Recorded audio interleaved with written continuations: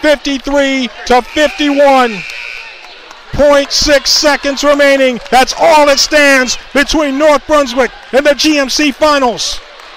Dana Peterson to inbound from the baseline. And now Sean Morrell will call his final timeout for North Brunswick.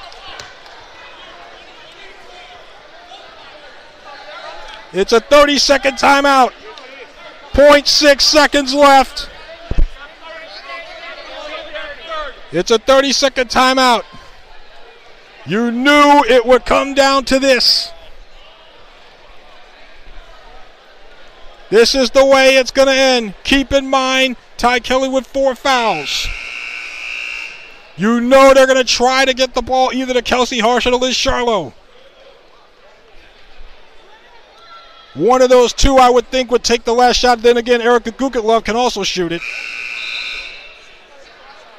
I would think one of those three. With 0.6 remaining. North Brunswick 53, Bishop Ahr 51.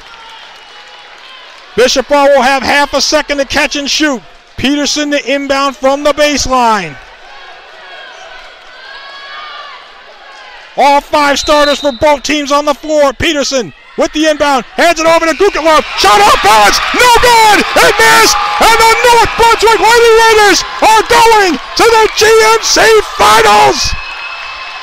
For the first time in school history, the North Brunswick Raiders will go to the Rutgers Athletic Center.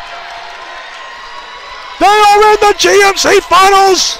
They defeat the Bishop Ahr Trojans 53 to 51 here at South Brunswick High School.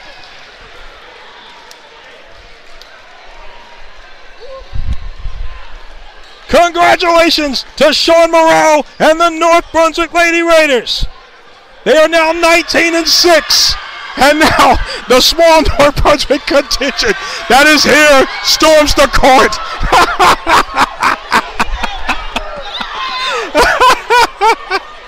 There's probably about 15 people storming the court here in front of us at the scores table.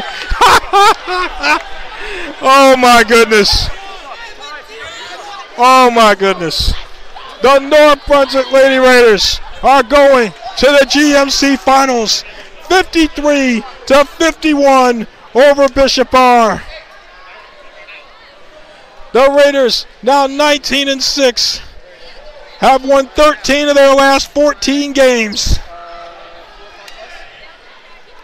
And North Brunswick will be at the RAC on Friday night at 6 o'clock. We will take a break. I need it. when we come back, we'll have a recap. We'll do it all in just a moment. It's North Brunswick Raiders girls basketball on the web, at Ustream, and the King James Radio Network.